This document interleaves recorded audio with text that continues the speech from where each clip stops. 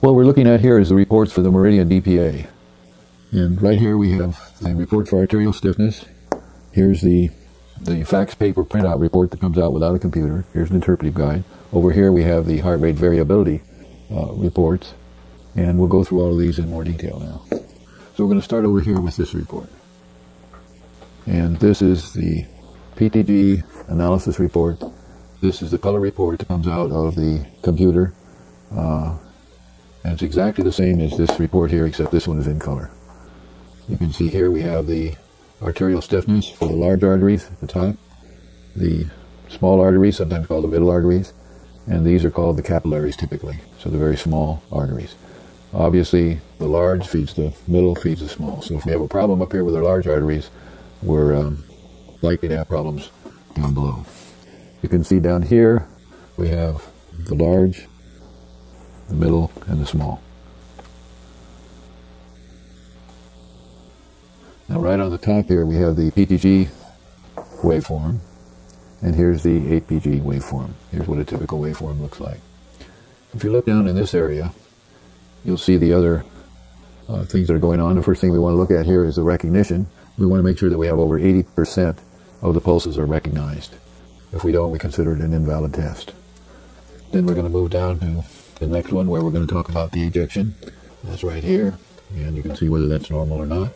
The pulse rate is going to be next, and it tells you whether that's within the normal range or not.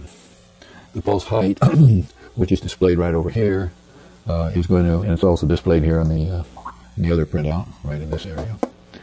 So here's where our pulse height is. We like it to be within this green area here, and that's considered normal. We're going to come down to the, the pattern right here at the bottom, and we're going to call it something between A and G. Up here a C, and we get a particular number in the brackets. That's not considered to be the biological age. Biological age has to be calculated, and we show that over when we get in the interpretive guide. Here's the type B, and again, the brackets, number in the brackets is not the uh, biological age. Now we'll go to the interpretive guide. We're going to see a lot of information on the interpretive guide here. Hmm. this interpretive guide has got a lot of pictures in it, so it takes three pages. You can eliminate the pictures if you want to and cut it down to one page, or you can put even more pictures in because it is an Excel spreadsheet. And what we do is we export the patient information from the Meridian and then export it into something we call a calc file. And from the calc file, the report is printed. The calc file is where calculations are done. If you look at this top one here, we're going to see the name of the patient up here at the top. Then we're going to take a look at what's called recognition here. We'll also see the age and a few other things about the patient, the date of the test. So the first thing we're looking for, did we actually get 80% of the pulses? If we did, it's a fine, it's a good test. So here we got 93, or was it 99%?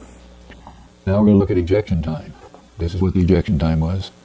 And a description of the ejection time, what's normal, what's considered um, high, and what's considered low, and a description of that. The heart rate is right here. This particular one is shown in beats per minute. What's normal, what's low, and what's high, and an explanation of that. We go into pulse height. Here's our pulse height. pH is pulse height.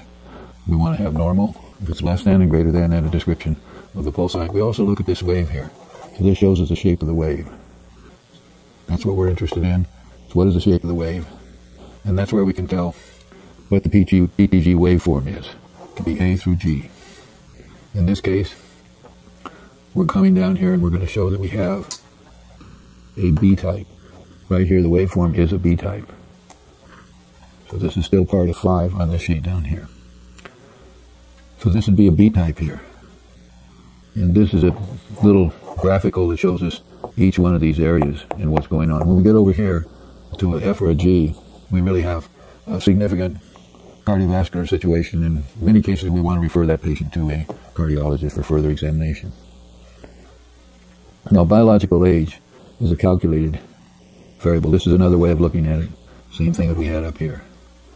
But we're going to see here that we have what age is represented by each one of these. A, B, 25, 20 to 30, B is 30 to 40, C is 40 to 50, and D is 50 to 60, E is 60 to 70, F is 70 to 80, and G is 80 to 90.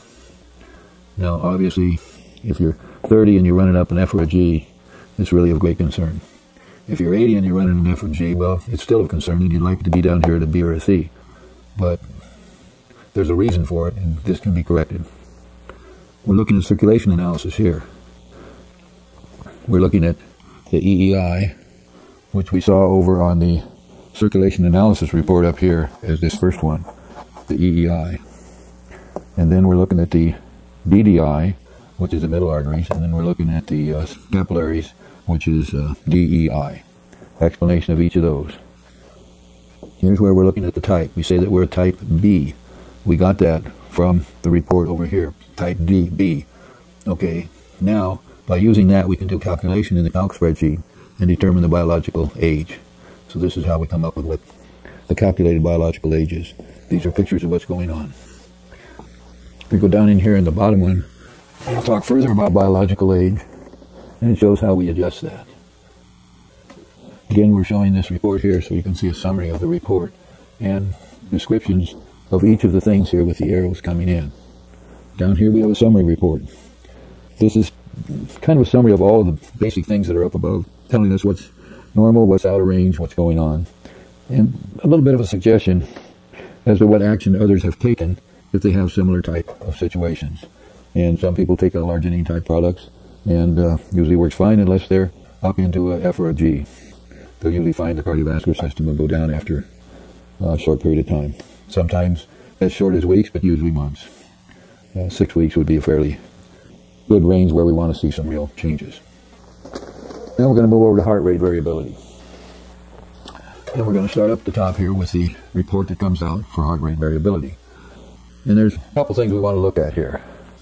We definitely want to look at the balance between our sympathetic and parasympathetic system. That's right here. In this case, we're mostly parasympathetic. This is a high ratio of unbalance here, where we're mostly parasympathetic in this case. We'd like to see a ratio of 6 to 4 or 4 to 6.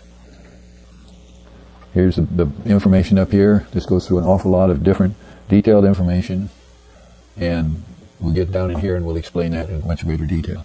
Here's our tachygram from start to, to finish. When we saw it coming out on the meridian DPA, we only saw a little piece of it and then it went back and repeated. This is the entire one. Here's our ranges on our total power. Our total power, our VLF, LF, and HF. These are the four that we're interested in. We'd like them to be within the shaded green area or higher. If they're lower, that's when we have concern. Now we're going to go down here and take a heart rate, heart rate variability interpretive guide, and we have this broken down into various sections here. SDDN is considered to be one of the very good indicators of what's going on uh, in the area of heart rate variability. So we have an analysis here of what's happening. We'll go down now and take a look at total power. And when we look at total power, we're going to show what the number was, and then we're talking about what's normal and what's happened if we're low. If we're high, there are some indicators, but we're not nearly as concerned if we're high. So this is an explanation of total power and what high-low means and what normal range is. Now we're looking at VLF. Again, VLF, remember we went through this power, this density, power density spectrum up here. VLF describes the same thing. Normal range. This is a very low frequency.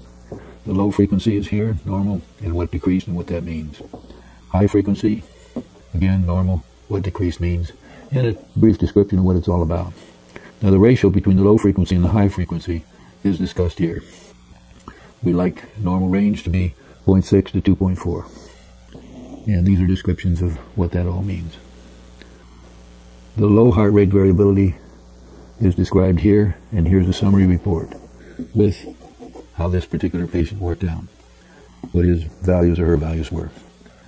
Again, this is a another screening report, taking a look at what the heart rate variability report with arrows coming in and showing you all the different aspects of it, and a summary report here. If we go up here, another way of presenting the DPA, talking about the computer printout here, and for this is the heart rate variability, and what this all means with arrows coming in. Just another representation of, uh, of what's down here.